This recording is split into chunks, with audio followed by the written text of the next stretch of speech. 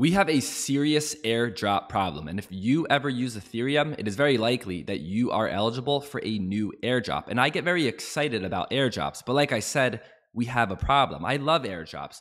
There are going to be airdrops in 2022 that I am excited for, that I hope to be participating in.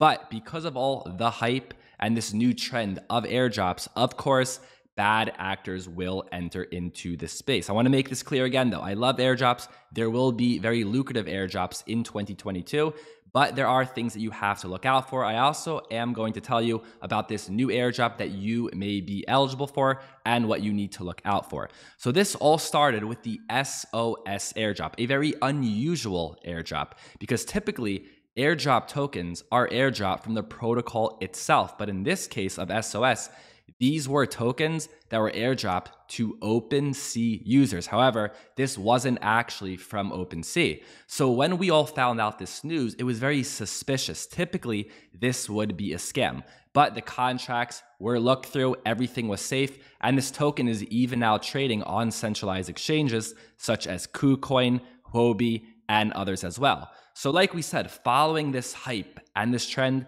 people will copy. And then just recently, we saw another airdrop for the gas DAO. And if you yourself have ever spent more than 1559 on Ethereum gas, you are eligible to claim this token. And right after I saw this, my immediate thought was this is a scam. This project saw what SOS did and they are capitalizing.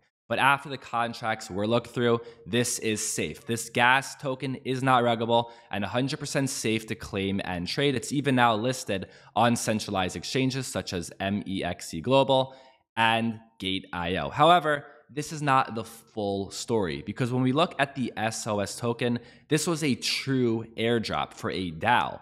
There was no public sale or private sale. All fair, free drop. No VC, no founders, no team, so zero tokens were reserved for anyone. But when it comes to this gas DAO token, 15% was reserved for 25 core contributors. So this is a legitimate contract, right? It's safe to claim.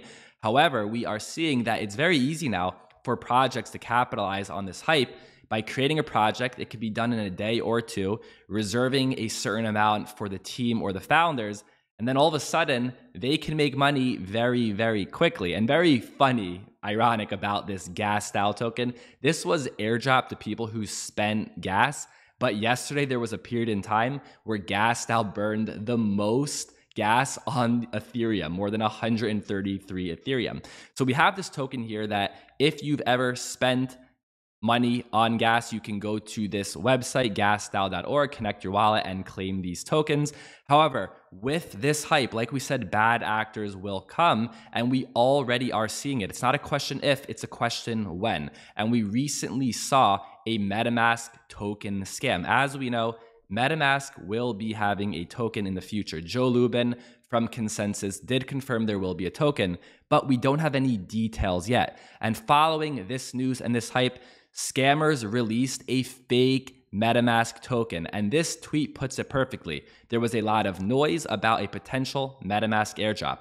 Based on this hype, someone created Mask, but Mask is not related to MetaMask. And this was a scam. It's not a question if, it's a question when. We will see two types of dangers moving forward. The first one is people capitalizing on these airdrops by releasing smart contracts that are actually malicious smart contracts and will steal your crypto. And the second is actual legitimate contracts, right, that are safe to use. However, there is a large percentage distributed for the original founders, and it's a very quick and easy way for them to make money. And something I said in a previous video is that when it comes to these claimable airdrops, I like to wait to claim them if I either want to trade it, sell it, or use it for its utility, or I need to claim it before the expiration date for claiming. And the main reason for US tax purposes is that when you claim an airdrop, whatever it's worth when you claim, you will be taxed on that amount. But because these tokens are brand new, these are basically meme coins and they're so volatile,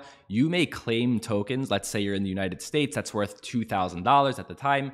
You pay a percentage of tax on that 2000 But then the next day, because these are so new and volatile, they may crash and you may not have the money to pay those taxes. And like I said, we're gonna see more of this in 2022. And I don't want you guys to think that I'm bearish on airdrops. I am extremely bullish on airdrops, especially for 2022. And my belief is that we will see airdrops for Ethereum layer 2 protocols. And if you want to know what these protocols are and how to participate, go ahead and watch this video link right above and in the description down below. I hope you guys have a great day. Let me know if you actually claim this gas airdrop and how much you were able to receive. Thank you for listening, and I'll see you next time.